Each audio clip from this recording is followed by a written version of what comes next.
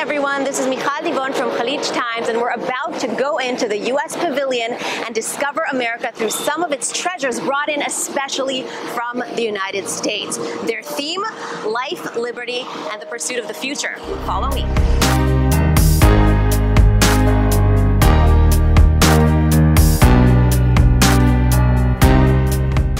My name is Fatma and welcome to the USA Pavilion. Thank you so much. Come right down this way. Thank you. Love the outfit. Thank you. The USA Pavilion's theme, Life, Liberty, and the Pursuit of the Future, celebrates the American people, ideas, and contributions. The series of eight exhibits takes visitors on a journey through the past, present, and future of U.S. innovation and features iconic American items, inventions, and individuals. This right here is the Quran, and it's not just any Quran. It belonged to Thomas Jefferson, and it's the first time it ever leaves the capital, and it's the first time it ever left the United States. Our guide today is Fatma Al Said, a 20 year old Yale University student from Maryland and one of 75 youth ambassadors. Throughout the pavilion, visitors can meet and interact with youth ambassadors from nearly 50 states, representing the different communities of the U.S.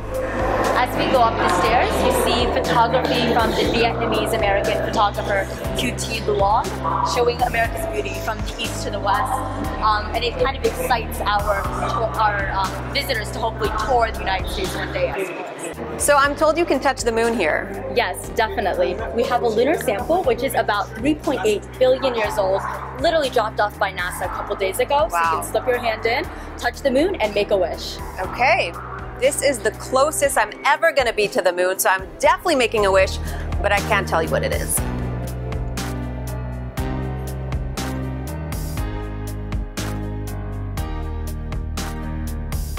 Of the Mars Opportunity rover built by um, Cornell University students and thankfully we are so excited to have here for the Expo 2020 in Dubai. Amazing. Same dimensions? Yes, exact same dimensions. We even have a screen on the other side so visitors can come see a live stream of the rover and get an idea of how this technology looks in the real world. Are you ready for the grand finale? I'm ready. Right this way.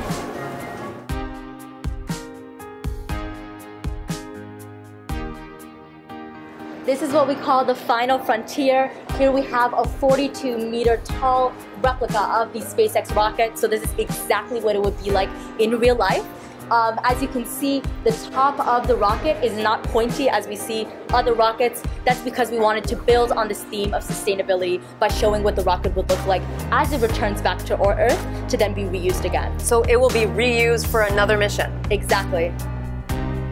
For those who prefer a virtual experience, the USA Pavilion is participating in Expo 2020's Virtual Expo, an online experience of 360 degree videos, photos, and interactive elements.